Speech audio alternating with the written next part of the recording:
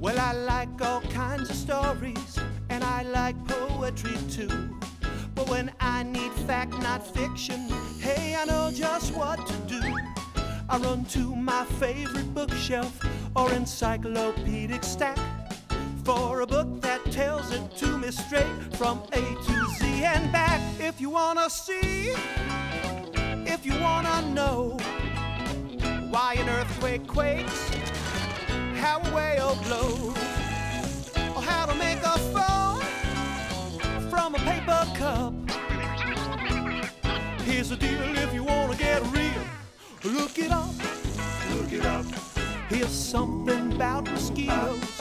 Hey, look it, here's Peru. And here's a giant cactus. So much I never knew. Just how a zipper zips.